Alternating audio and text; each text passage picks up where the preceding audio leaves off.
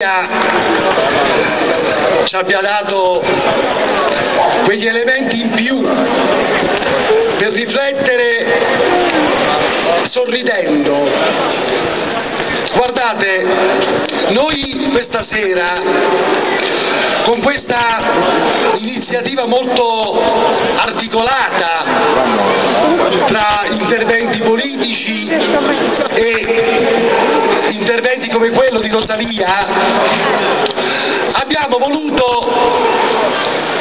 portare avanti un ragionamento, un discorso, un confronto con i cittadini, sollecitando sempre una riflessione, un ragionamento sulla nostra città, sul modo di essere di questa nostra città. Guardate, io dico sempre, è importante camminare con gli occhi aperti, è importante cioè guardarsi intorno, è importante cioè capire dove siamo, come siamo e perché siamo in queste condizioni. E allora guardate, purtroppo dobbiamo partire da un dato, il medico, il medico bravo, la prima cosa che deve fare è individuare la malattia anche se questa è un cancro, il medico bravo la deve individuare, anzi più presto fa a individuarla, questa malattia, più presto è possibile tentare una terapia idonea per combattere il, il male. Allora il punto di fondo che noi stiamo cercando di sollecitare in questa nostra città anche attraverso la battaglia elettorale, il confronto elettorale con i cittadini è stato questo. Guardate, cari concittadine e concittadini di Casoria, dobbiamo capire che purtroppo Casoria è una città malata, è una città invivibile, basta guardarsi intorno, è una città che è stata distrutta da 30 anni e più di una feroce speculazione edilizia che non ha creato momenti di vivibilità. A Casoria non ci sono aree verdi, a Casoria non ci sono spazi per i bambini. Io credo che le mamme, le nonne che accompagnano i bambini per strada, voglio capire, ma dove possono portarli? Camminando per strada soltanto tra le macchine, l'inquinamento, i pericoli, dove gli anziani possono trascorrere serenamente un momento di riposo dopo tanti anni di lavoro, quando nella nostra città non vi sono spazi di socializzazione, di possibilità di stare insieme serenamente. A Casoria non ce lo dobbiamo scordare, purtroppo. Una città di 80.000 abitanti non c'è un cinema, non c'è un teatro, c'è uno stadio comunale molto bello da oltre 15 anni chiuso, c'è un palazzetto dello sport costruito con i soldi dei cittadini che è dato in gestione a privati i, i ragazzi, i ragazzi dove stanno? Dove possono giocare i ragazzi?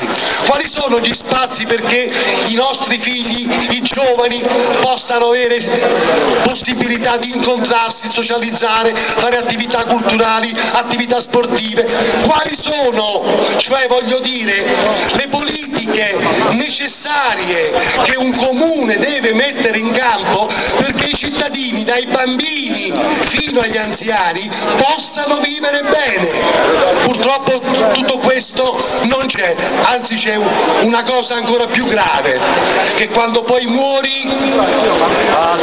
c'è il caro estinto. Anche quando muori, anche lì c'è la speculazione, anche lì purtroppo la persona, il cittadino è mortificato. Allora, se questo è il quadro, la malattia l'abbiamo capita, ma ce lo vogliamo chiedere da dove è nato tutto questo? Io sintetizzo con un'espressione. Dobbiamo capire che questo esattamente è il risultato della mala politica che per oltre 30 anni si è sviluppata nel nostro paese, nella nostra città. E noi, noi sinistra, perché stiamo qua? Perché stiamo qua? Perché stiamo ragionando con i cittadini? Perché guardate, noi abbiamo un'idea della politica che è tesa e finalizzata a cambiare la realtà. A noi questa idea della politica che possa, cioè la politica che è una cosa bella, una cosa importante, le persone si mettono insieme, si organizzano per fare cosa? Avete sentito dagli altri compagni come purtroppo altri soggetti, altre formazioni politiche vivono la politica, la politica per gli interessi personali, la politica per difendere i, i poteri forti, sia quelli diciamo così normali, legittimi e sia quelli che sono poteri criminali, i poteri delle camorre. Bene, noi, noi sinistra intendiamo la politica come un'occasione per cambiare la realtà e stiamo dicendo ai cittadini se è vero che ciascuno di noi, ciascuno di voi si lamenta, si arrabbia giorno per giorno per tutto ciò che non c'è in questa città, vogliamo tentare di capire come attraverso la politica possiamo cambiare questa realtà? Ebbene, noi anche attraverso queste elezioni abbiamo posto un problema. Abbiamo detto guardate, noi dobbiamo mettere in campo tutte le intelligenze, tutte le risorse fondamentali di questa città, le risorse umane, le risorse sociali, le persone oneste. Perché? Perché vogliamo che insieme le forze migliori di questa città possano ragionare e ricostruire una nuova idea di città, una nuova idea di città che, lo ripeto, finalmente dia le risposte che non sono mai venute, dia le risposte di vivibilità che non ci sono state, che non ci sono. E guardate, io credo che in questo momento storico Attraversando una fase estremamente delicata e anche molto importante. Perché? È stato già detto da qualche compagno che mi ha prima preceduto. A Casoria esiste una realtà importante, le famose aree industriali dismesse, 640.000 metri quadri, quasi al centro della città sostanzialmente, che con una politica accorta, intelligente, con una politica libera dagli interessi dei forti, dei palazzinari, di quelli che hanno fatto la speculazione edilizia nei decenni precedenti, ma una politica politica, una politica pulita, la buona politica, queste aree potrebbero diventare un'occasione importantissima per dare città delle occasioni di diventare un'altra cosa.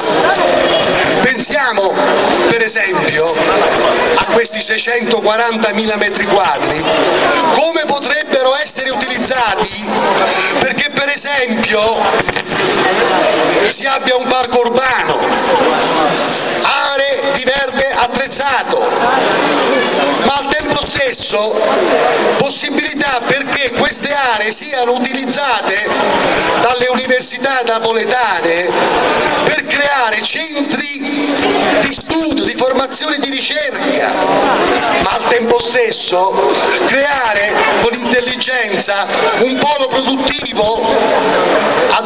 tecnologia, a basso impatto ambientale, che possa dare risposta ai tanti giovani, ai tanti lavoratori, ai tanti disoccupati. Io qui voglio cogliere l'occasione per sottolineare una cosa importantissima che è nata a Casoria negli ultimi due o tre anni, quando un gruppo di lavoratori, di disoccupati, hanno scelto di fare una strada importante, unirsi, organizzarsi, cominciare a capire cioè che è importante per loro fare in modo che non soltanto andare via dalle logiche di chiedere il favore a questo o a quel politico, ma capire che mettendosi insieme e avanzando delle idee e delle proposte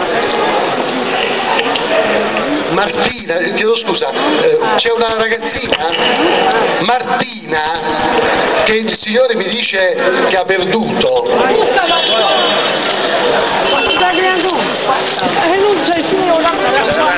Signore l'ha trovata? No, no.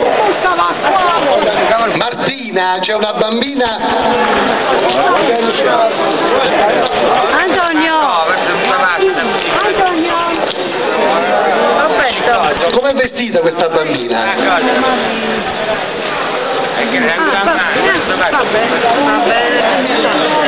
Avete trovato? Meno male, meno male, meno male, meno male. Grazie, bravi, bravi, bravi, bravi, bravi. No, no, no, no, eh, chiaramente, chiaramente.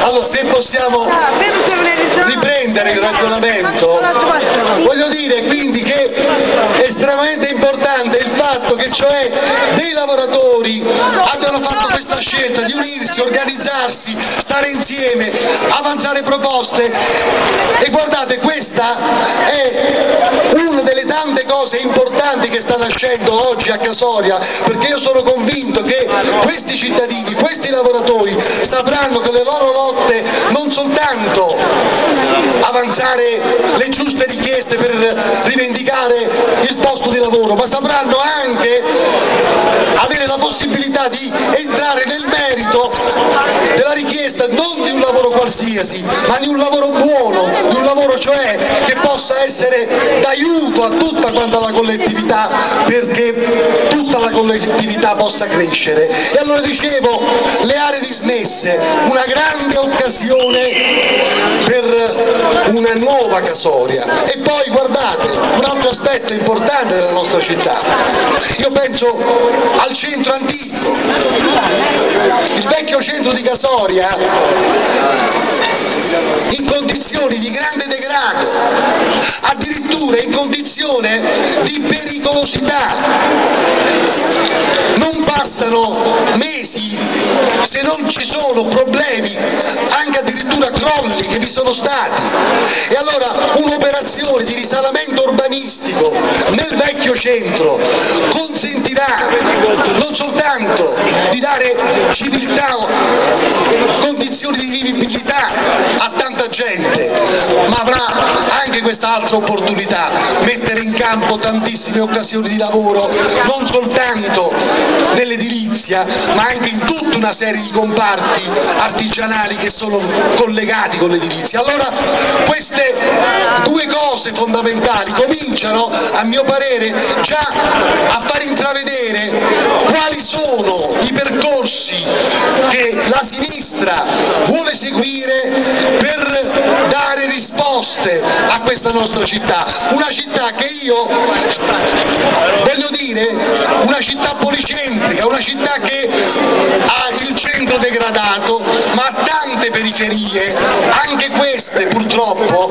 senza i servizi sociali fondamentali, addirittura una periferia come quella di Arbino in modo particolare, ma anche altre, che non hanno alcun collegamento interno c'è bisogno anche da questo punto di vista di una forte innovazione perché ci sia una mobilità interna. Quindi voglio dire, noi, la sinistra, sta facendo in questa campagna elettorale una battaglia non soltanto per dire votate noi perché siamo belli, perché siamo bravi, ma sta facendo una battaglia che è culturale, che è politica, che è grande prospettiva, perché? Perché naturalmente soltanto se si faranno queste cose sarà possibile risolvere la malattia di cui parlavo prima. C'è però un problema, guardate. In queste settimane di campagna elettorale, nelle pochissime occasioni confronto che noi abbiamo potuto avere con le altre forze politiche, con gli altri candidati a sindaco, bene, io devo dire che ho riscontrato, primo, pochezza di idee. Io non ho avuto la possibilità di confrontarmi e di scontrarmi, se volete, con altri candidati a sindaco che avanzassero idee diverse, opposte alle mie. Ho soltanto dovuto registrare nella quasi totalità assenza di proposte, tranne, tranne il riferimento episodico a un fatto, ma i cittadini vanno in cerca di una buona politica del quotidiano, i marciapiedi che siano eh, in buone condizioni, le strade asfaltate, quindi la politica amministrativa di una città come Casoria dovrebbe essere concentrata sulla attività quotidiana. Guardate, io a queste osservazioni ho detto questa cosa e vorrei confrontarvi con voi anche su questo tema. Questa cosa, guardate, è evidente che un'amministrazione che sappia fare bene il proprio dovere deve guardare anche alla politica del quotidiano. Le piccole cose, anche le piccole cose sono importanti. Il punto però qual è? Il punto qual è? Vorrei capire, ma le piccole cose come si fanno a farle nel modo migliore se ad esempio c'è lo spreco del denaro pubblico, se ad esempio nella della spesa corrente, cioè la spesa quotidiana che l'ente locale fa per le piccole cose, riscontriamo clientelismo, riscontriamo, va bene, facciamo fare questo lavoro alla ditta amica, non c'è rispetto della legalità, oppure vogliamo pensare a qualche altra cosa che a mio parere può rientrare nel discorso della, del, del quotidiano, c'è un circolo didattico a Casoria, il primo circolo che da tre anni è bloccato, chiuso, le, le classi, centinaia e centinaia di bambini che sono costretti a stare in giro per altri posti della città, l'amministrazione comunale da due anni e mezzo non fa nulla per risolvere questo problema. Allora vorrei capire, ma il quotidiano, quale quotidiano? Oppure altra cosa, la politica del dare soldi ai consulenti, si è detto prima da parte di Vincenzo, ad esempio, la macchina comunale. La macchina comunale è importante perché un comune possa funzionare bene. Diceva di Vincenzo, giustamente vi sono all'interno della macchina comunale delle risorse umane qualificate e importanti, ma ove si volesse qualificarle ulteriormente queste risorse, lo Stato, la legge, mette a disposizione dei comuni la possibilità per i dipendenti comunali di qualificarsi. Bene, a Casoria, per la verità come in tanti altri comuni italiani, che cosa si sta facendo anni, che invece di qualificare i servizi del comune, utilizzare al meglio i lavoratori, i dipendenti comunali, si preferisce, anche qui per scelta clientelare, chiamare esterni, li chiamano consulenti, molto spesso non hanno neppure le qualifiche necessarie. A Casoria siamo arrivati nell'ultimo anno a oltre 800 mila euro solo di consulenze. Allora voglio dire, ma perché le altre forze politiche, perché gli altri candidati a sindaco sfuggono al confronto? Perché guardate, io sono personalmente arrivato a questa conclusione. A Casoria in questo momento stanno scontrando in maniera molto forte tre sistemi di potere. E si stanno scontrando, guardate bene, questo lo dico con grande preoccupazione, non alla luce del sole, non confrontandosi progetti chiari che il cittadino possa comprendere, ma si stanno scontrando questi tre sistemi di potere, sostanzialmente io penso per spartirsi l'oggetto del desiderio che sono le 640.000 metri quadri delle aree stesse, perché è lì che si gioca la partita del futuro di questa città e se ancora una volta avranno la meglio le forze politiche che sono legate, espressione del, dei palazzinari di ieri e di oggi, noi avremo altre colate di cemento. Invece i cittadini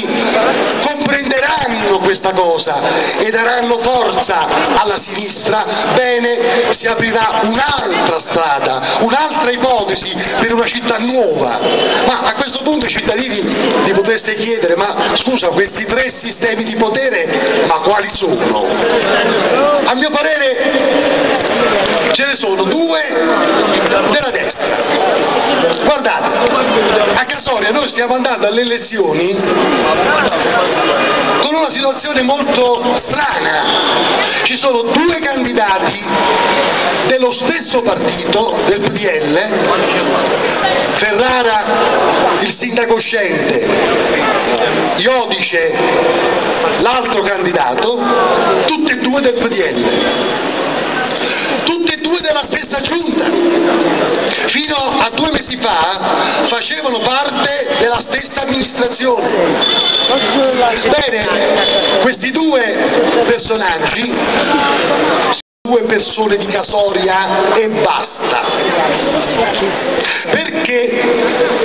Perché Ferrara è sponsorizzato e ha alle sue spalle Cosentino tutti quanti credo che sappiano chi è Cosentino, no?